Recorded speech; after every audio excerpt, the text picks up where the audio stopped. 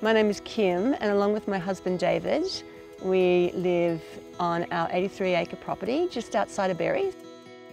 We've got a mixed farm with cattle and a little bit of chickens and, and honeybees and um, this is our life. So living on a property is not all fun and games. There's lots of challenges and there's lots of hard work. We're both new to properties and to cattle and to everything. When we came here, we became involved with local land services fairly quickly and through them join the Small Farms Network, which is great. We come out to the landholders and we talk to them about improving their pasture management, weed management, but also look at things like tree planting, um, livestock health and general biosecurity on farm. A lot of people come on a farm and they, they look and go, oh great, I'll get cattle. And then you go, mm, what else can I do? Because you've actually got a lot of land and you look for other opportunities to do things. Whatever your interest might be, there'll be groups and associations that you can actually engage with that will actually help to, to build your knowledge and experience uh, in, in that particular area. So across the, the southeast region we have around about four or five farmer networks. So Local Land Services and the Small Farms Network has recently just developed a range of publications and resources for, for small landholders.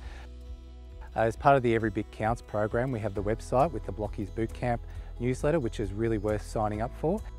So the services we provide include a range of workshops and it gives landholders an excuse to come together and peer learn but also learn a variety of skills off the skilled staff in Southeast Local Land Services. So we've done many courses through through those guys. I've um, I've done a course on low stress cattle handling, on dung beetles, on uh, soils. We've done our bee course through them as well. So there's just so much you can learn. And you're also connecting with different people who are doing the courses with you. A lot of them were new to rural life and to properties, so that was great. You Can talk about your experiences and you're just all learning together. With all of those things, you, have got to invest the time, but it comes back to you in, in money saving ideas and, and time saving ideas on your own property. And that's really huge value to anyone who's, who's getting on the land. The best part of my job is working with people like David and Kim and other new people who are just starting their journey.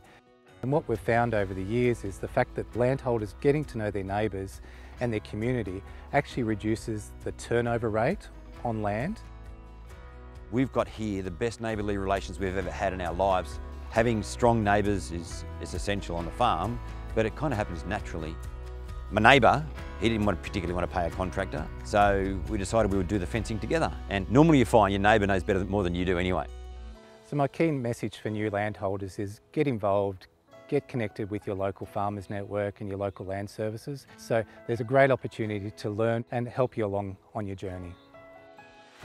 If you're thinking about moving to the country, don't leave it too long. If that's what you want to do, just jump in and do it. You won't regret it.